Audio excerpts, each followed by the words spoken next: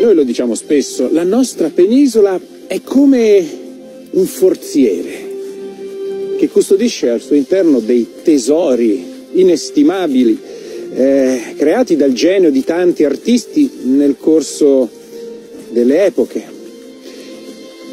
Però c'è un artista al quale non si fa mai riferimento quando si parla di capolavori, di tesori del nostro patrimonio, ed è la natura.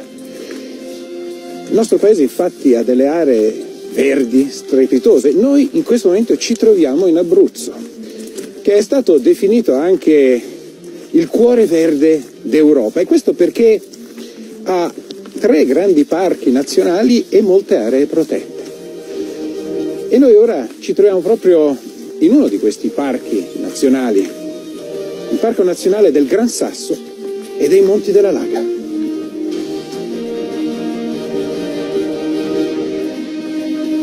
E proprio questi luoghi vi possono regalare delle atmosfere e dei sogni come quello che vedete attorno a me. Noi siamo a 1460 metri di quota. Praticamente qui ci sono le nuvole a volte e avete questa incredibile sensazione di stare fermi nel tempo, una specie di nebbia del tempo. In questo silenzio siete voi, l'ambiente e soprattutto la storia.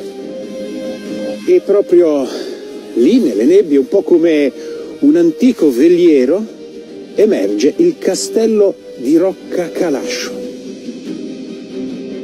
Una struttura che certamente è familiare per alcuni di voi, perché qui sono stati girati anche dei film famosi come Lady Oak e Il nome della rosa. Le scene sono state ambientate proprio qui. E quello che colpisce di più è che questo castello sembra emergere in un altro luogo del pianeta, non sembra neanche di stare in Italia, eppure stiamo nel cuore dell'Abruzzo. Come mai è stato realizzato questo castello? Beh, qui non ci sono state delle battaglie e questo rende ancora più enigmatico questo castello, la sua presenza qui che si erge come una sentinella. In effetti era a guardia di qualcosa che era ancora più prezioso dell'oro. La lana, l'unica fibra capace di tenere caldo in passato.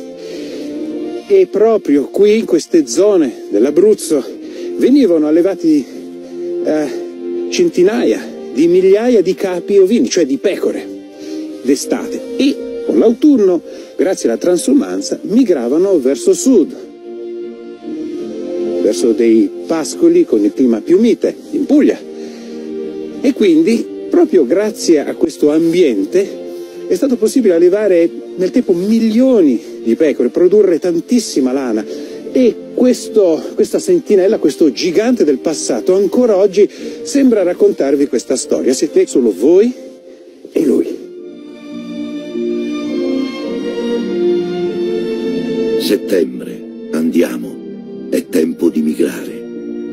Ora in terra d'Abruzzi, i miei pastori lasciano gli stazzi e vanno verso il mare. Scendono all'Adriatico selvaggio, che verde è come i pascoli dei monti.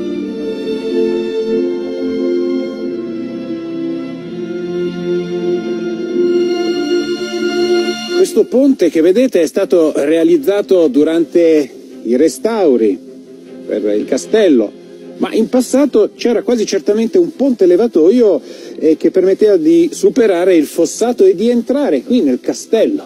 La parte centrale è questa torre che vedete.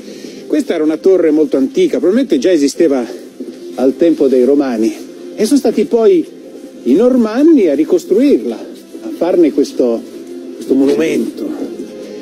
Già, i Normanni perché, vedete, questo luogo faceva parte dei territori del Regno di Sicilia ed è rimasto legato al sud fino all'unità d'Italia. È probabile che esistesse una rete di torri, un po' di questo tipo, di segnalazione.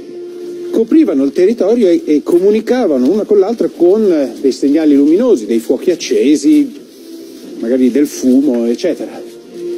Ed è stato solo nel 400, cioè diciamo poco prima della scoperta dell'America, che tutto è stato poi ingrandito, sono state messe quattro torri cilindriche, poi questi passaggi con queste mura merlate.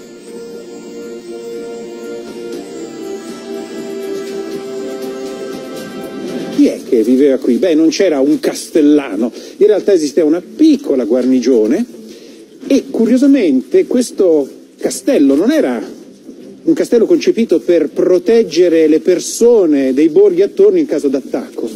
Era piccolo, serviva per controllare tutto il territorio.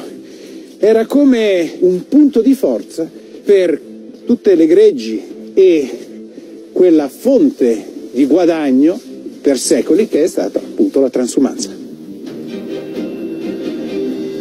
Nei secoli successivi il castello e il borgo sono stati pesantemente danneggiati dai terremoti che ciclicamente hanno colpito questa regione.